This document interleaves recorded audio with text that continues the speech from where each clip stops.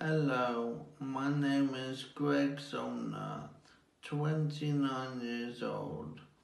Eight years ago, I was involved in a fatal car crash, leaving me on life support.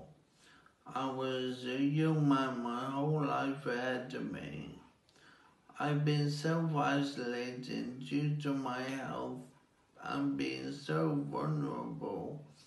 My warning to others at this time is just before the roads get busy, is think of all the pedestrians, all the cyclists, all the other traffic on the road.